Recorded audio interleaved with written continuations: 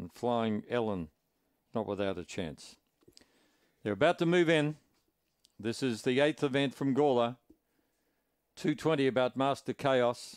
He's a very promising dog, Master Chaos, but he's not a good box dog. Here they go. Lures running. They're off. Oh, he jumped away brilliantly.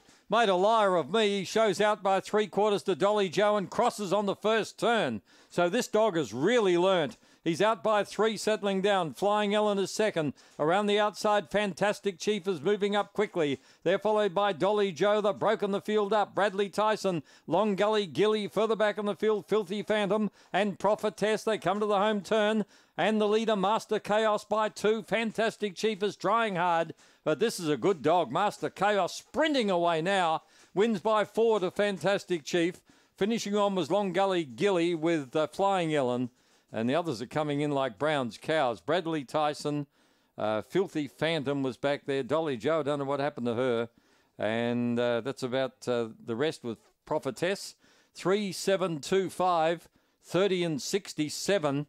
And it was all the way, and the run home was terrific. 1467. This dog was only hitting top pace in the last 50 metres. 324 early, 16 dead to the back and 1467, the run home. Do they go any quicker than that? 1467?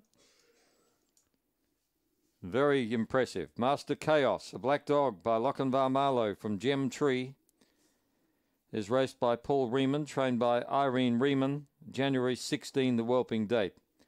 15 starts, 5 wins, 5 placings.